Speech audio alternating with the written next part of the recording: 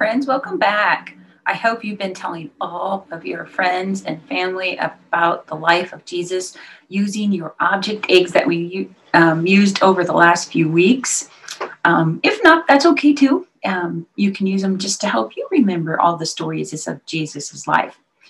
Today, we're going to go ahead and talk about another story about Jesus. This time, it's um, a story about what happened after Jesus was alive again on Easter, after Jesus came back to life, but before he ascended into heaven. So, we're going to get right into that. We're going to go right to our Bibles after we have our opening prayer. Please pray with me. Dear God, help me use my ears to listen and my heart to learn the words you have for me today. Amen. Okay, just like I mentioned before our prayer, we are going to go to our Spark Story Bible now, and we're going to read a story about the first time the disciples saw Jesus after he was alive again on Easter. So go ahead and turn to your Spark Story Bible if you have it. If not, that's okay. You can follow along on the screen. We'll be on page 492. Doubting Thomas. The disciples were hiding in a house the night Jesus rose from the dead. They were afraid. Bam! They locked all the doors. But Jesus came and stood by them. Peace be with you, he said. The disciples looked up in surprise. Jesus showed them his hands and his side so that they would know it was him. The disciples were very happy. Again, Jesus said to them, Peace be with you. God has sent me to you. Now it's your turn to go tell the rest of the world about me. Jesus breathed on them in a very special way. He said, With this breath I will always be in your hearts, even when I am in heaven. You know, you now have the power to do the things I've asked you to do. Thomas was the only disciple not there that night. When he got back, the others excitedly told him about Jesus' visit. But, gee, Thomas says, I don't believe you. I'll believe when I can touch Jesus' wounds. A week later, Thomas and the other disciples were in the same house. Jesus came again and stood with them. Peace be with you, he said to them. Thomas, Jesus commanded, come here. Give me your hands. Put your finger on the wounds in my hand. Put your hand by the wound in my side. Do not doubt anymore. It's time for you to believe. Thomas's eyes popped. My Lord and my God, he exclaimed. Jesus answered him, You believe because I'm here with you and you've seen me. Think of those who have not seen me but believe in me anyway. You should believe, even when you cannot see it for yourself now that we've read our Bible story about Thomas and Thomas having doubts that Jesus really came, let's watch the a video that tells the story again. Stories of the Bible. Jesus appears to Thomas. This is Jesus. Heyo! Who is the Son of God and the Savior of the world. While Jesus was on earth, he taught everyone about God's love and healed people from their sickness. He did many miracles like calming storms and even raised people from the dead. Uh, wahoo! Some people did not like what Jesus was doing and they put him to death. He died on a cross and was buried in a tomb. For three days, Jesus' body laid in that tomb, and it seemed that there was no hope. But very early on Sunday morning, the woman who cared for Jesus went to go visit his body, found that his tomb was empty and that he was no longer there.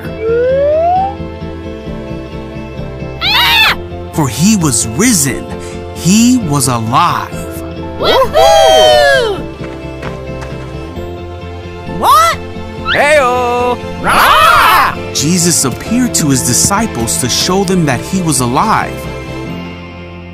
One of the twelve disciples, Thomas, was not with the others when Jesus came.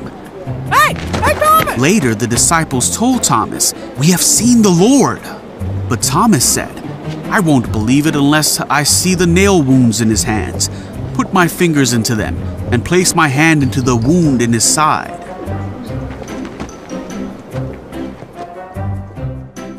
Eight days later, the disciples were together again, and this time Thomas was with them. The doors were locked, but suddenly, as before, Jesus was standing among them. Oh, hey guys. Peace be with you, he said. Then Jesus said to Thomas, Put your finger here and look at my hands. Put your hand into the wound in my side. Don't be faithless any longer. Believe. Thomas said, My Lord and my God. Then Jesus told him, You believe because you have seen me. Blessed are those who believe without seeing me. We are going to get out our learner leaflets and talk about our story a little bit more. The first thing I need you to do is cut out the strip at the bottom of your learner leaflet. So just go ahead and cut along the black line at the top of that strip. You'll have a strip like this, and you'll have your paper. Okay, then go ahead and cut. It says to fold, but go ahead and cut upon, on each of those spots, and we'll have three different pictures. First picture is Jesus, and the second picture is Thomas, and the third Peter or picture is Thomas and Jesus. Okay, so now let's go ahead and talk. Sorry about that. Let's go ahead and talk a little bit about our story. So, what were the disciples doing in the story at the beginning? That's right, they were hiding in the house, weren't they? And who came and stood inside the house with them? Yes, Jesus did. So you can take your picture and put Jesus in with the disciples. Jesus came to the house. How did the disciples feel when they saw Jesus? How did they feel? They were surprised. And then they were happy, weren't they? Yes. And what did Jesus um, say to the disciples before he left? Be at peace. Go, tell the world about me. I'll always be in your hearts. That's right. Then, what happened? Who didn't get to see Jesus the first time? That's right. Thomas didn't get to see Jesus the first time, did he? What did Thomas say when the disciples told him about Jesus' visit? He said, I don't believe you unless I can see or touch it my, for my touch Jesus for myself, right? But what happened about a week later? Jesus came and stood with the disciples in the house again. But who was there this time? That's right, Thomas was there. So Thomas was in the house and with Jesus together. And what did Jesus say to Thomas? That's right. He said, It's time for you to believe. And did Thomas believe Jesus was alive? Yes, he sure did. That's right. Thomas Thomas believed, excuse me, that Jesus was alive because Thomas saw Jesus. Jesus said there will be people who have not seen him but still believe. Guess what? I'm one of those people. Even though I haven't seen him, I believe in Jesus. Can you say that you believe in Jesus too? I believe in Jesus. We're going to do a fun little thing. If you look at the back of your learner leaflet now, there's a little way to say a sign language in I believe in Jesus. Okay, so you can look at your leaflet or you can just follow along with me. So we're going to say I, and then believe is believe.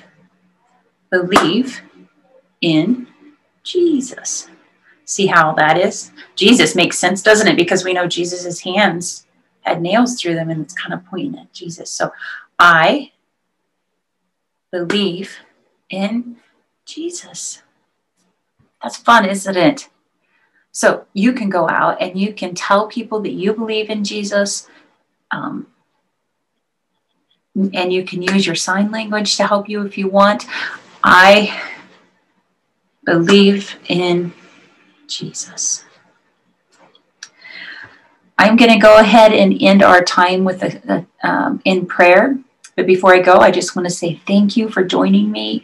And please, if you ever have any questions, you can always reach out to me. You can talk to a grown up in your life, you can talk to your pastor. And remember, you can always pray. Will you please bow your head with me in prayer? Dear God, thank you for giving us Jesus. Even though I don't see him, I believe in Jesus. Help me show Jesus' love to others.